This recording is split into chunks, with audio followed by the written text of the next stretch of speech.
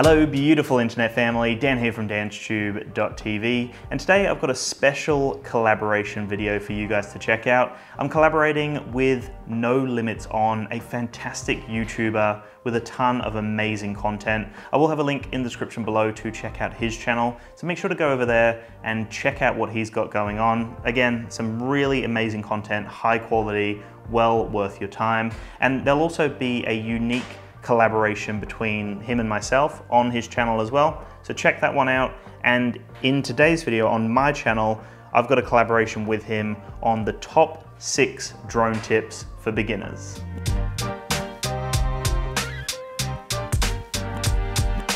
Starting off with my first tip for drone beginners, and that's using the DJI Flight Simulator to practice. Now, this is something that is invaluable because you're not gonna damage a real life drone. You've already spent hundreds, if not thousands of dollars on a flying robot. Now, the last thing you want is for it to crash out of the sky, hit into a tree, or for it to malfunction in a weird way that you could have avoided if you practice a little bit more. So my first recommendation is getting into the DJI Flight Simulator, which you can download right now. I'll have a link in the description below to check it out, but it's well worth your time. It's really comprehensive. There's tons of options, tons of different drones to use, and it's really realistic. You know, you get a lot of like wind realism within there. You get like the controls are on point, the interface is on point. It's everything that you would expect from flying the drone in the real world, but it's in a computer simulator where you don't have to worry about damaging a $1,000 drone potentially.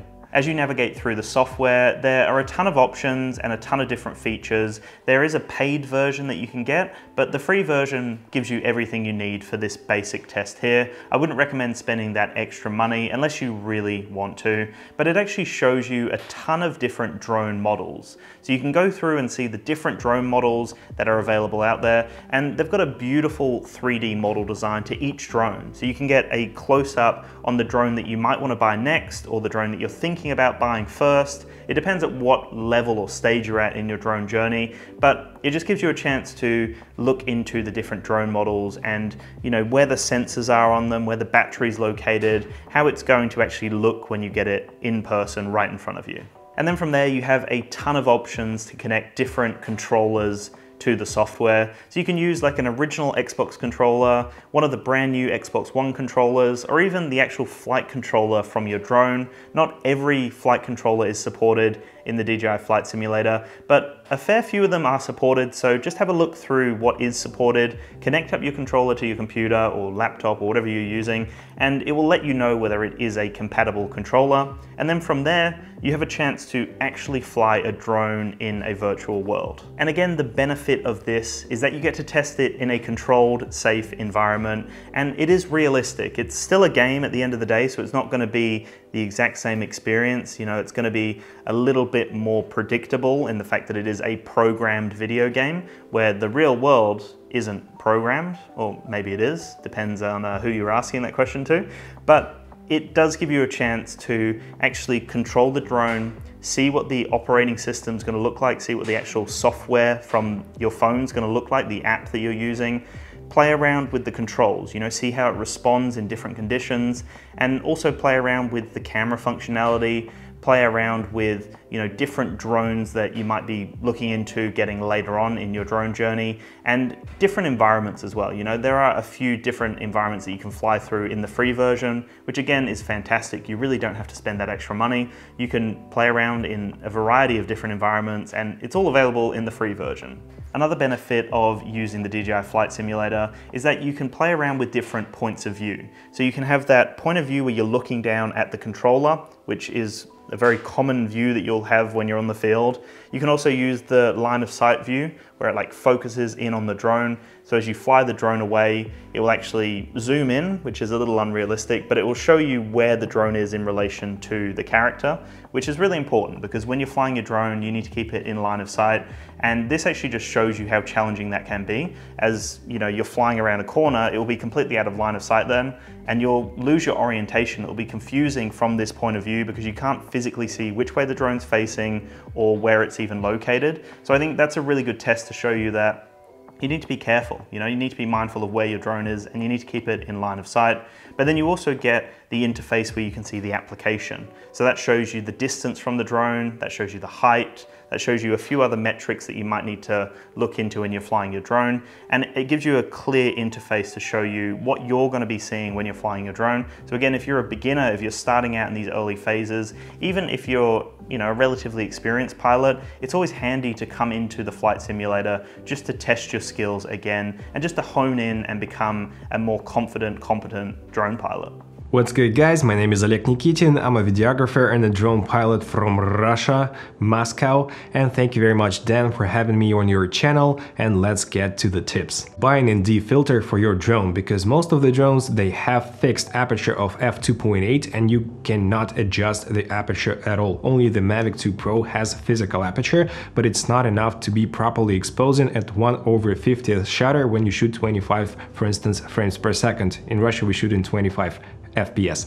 So basically you do have to buy an ND filter to set the proper shutter speed and I have a review of the filters from Freewell VND filters set of two filters and they are with mist effect. You can check it right here or you can use the link down below. I guess Dan will put a link under his video uh, in the description and you'll find out why it is important in that video if you want to check this out but of course we do need the cinematic movement of your drone footage during the first three or four years of drone piloting I wasn't using the ND filters and then I started out and I saw a huge improvement in cinematicness of my picture quality and overall feeling about my drone footage so I highly recommend you using an ND. My next tip is enabling the overexposure warning. Now this is available in pretty much all DJI drones from my understanding understanding, even the lower end mini models, they all have the option to enable overexposure warning.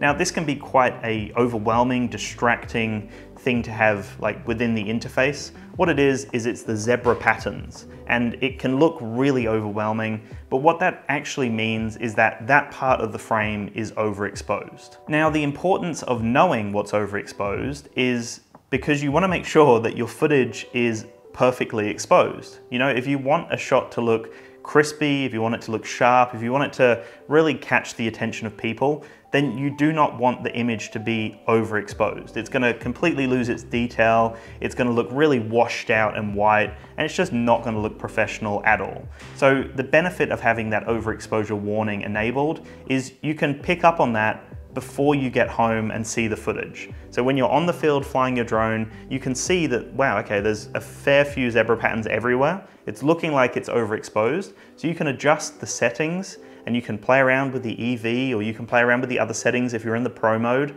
and you can adjust that to see when the overexposure becomes less harsh. So when there's less zebra patterns, that means that it's not as overexposed. And then you know that it's going to be a perfectly exposed shot. You can also utilize the histogram to make sure that you're getting you know, a clear bell curve and it's not going either end of the histogram. So if it's one end or the other, it's gonna be either underexposed or overexposed. So the histogram alongside the overexposure warning gives you a clear representation of how well the exposure is going for that particular frame that you're shooting, that particular shot that you're capturing right there in the moment use 10-bit codecs when you have this option. For instance, Mavic 2 Pro and the DJI Air 2S, they both have 10-bit codec and you get extra color information from your drone and you can get much better results after color grading this footage. So if you do have this option, use it. Also, I have uploaded to the cloud a little LUT that you can use to color grade your footage from Mavic 2 Pro. I use this LUT a lot lots and lots.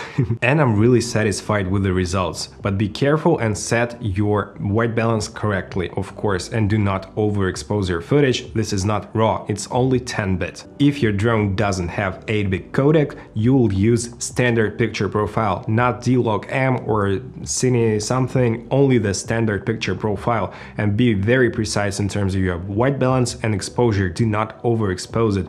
I've been using the standard profile on the DJI Mini SE, which I also have a separate review on. It's only 2.7K in standard profile, but the shots are pretty pleasing in my opinion, and you definitely can achieve good results. But if you shoot in a flat profile with an 8-bit drone and you'll try to color grade it, you'll see some artifacts and color banding and you don't want to have this. My final tip is really important and it might sound like an obvious one. It might sound like something you don't have to think about because it's a drone and it's worth thousands of dollars and it shouldn't fail on you. But something really important to do is inspect your drone for faults. Now this sounds like one of those things that you might just overlook and not even think about, but it can save you thousands of dollars. If you've got a brand new drone like the Air 2S and you can prevent anything from happening to it, if you can prevent it from malfunctioning midair because you've actually inspected it and you've picked up on something before it became a problem, then this is an invaluable tip to remind yourself of regularly. Like check your drone before every single flight. It's so important. And a few specific tips that will really help you with this is I would recommend taking photos of your drone. Like straight when you buy it, this is a brand new drone, literally take photos of it. Like get the battery, take it out, take photos of the battery so you know the shape of it, you know the form factor, you know like how it's meant to look brand new.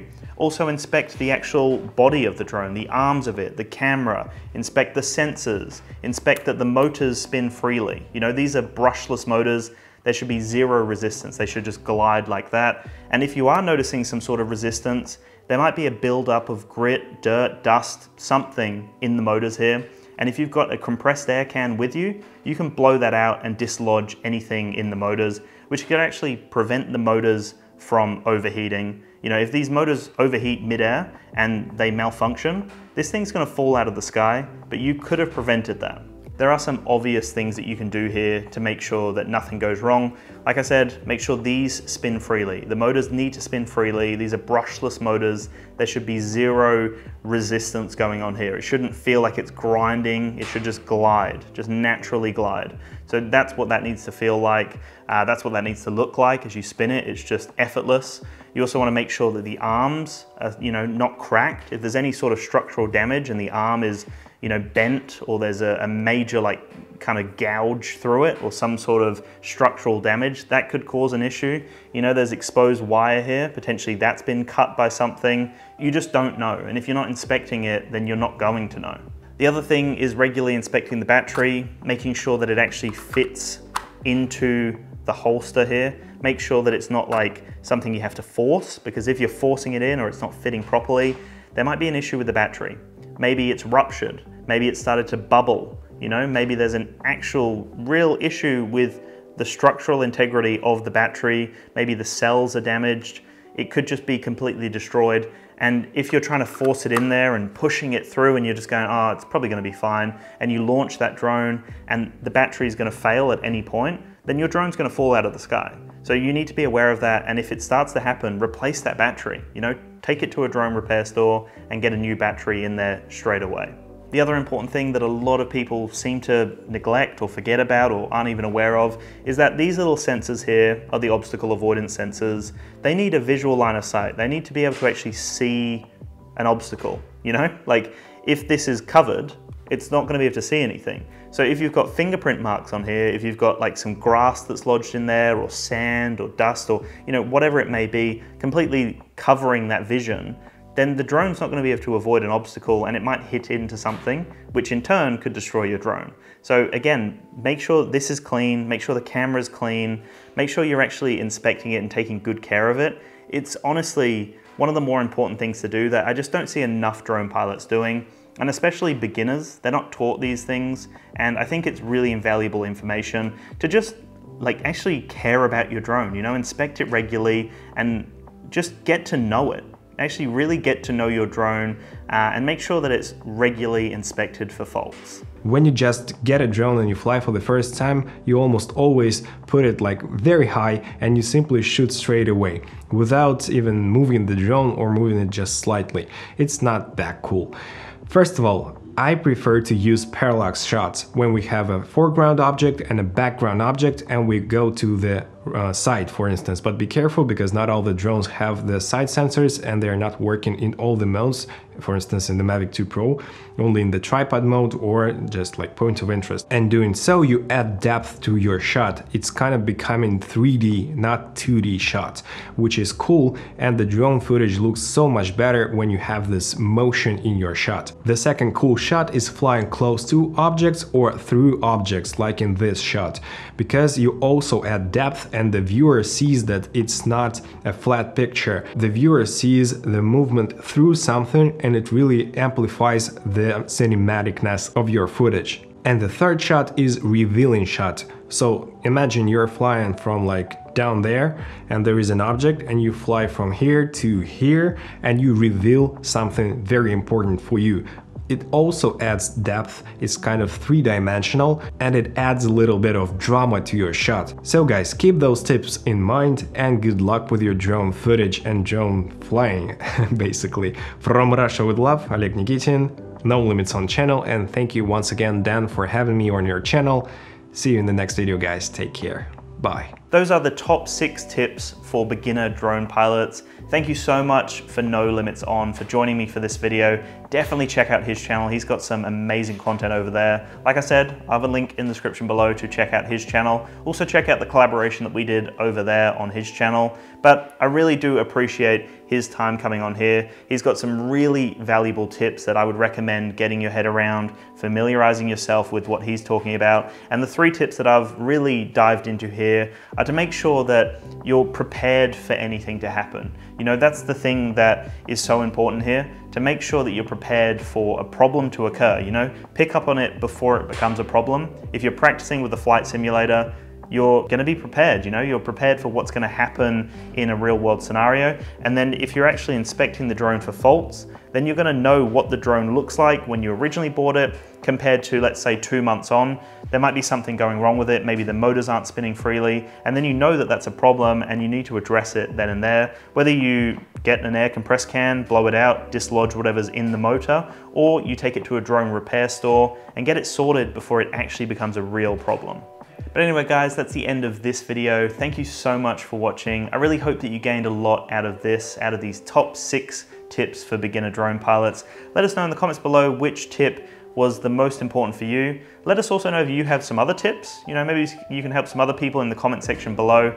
I really do appreciate it though. You guys are fantastic. You're a phenomenal community of drone lovers and I can't wait to see you in the next video. All right guys, chat to you soon. Peace.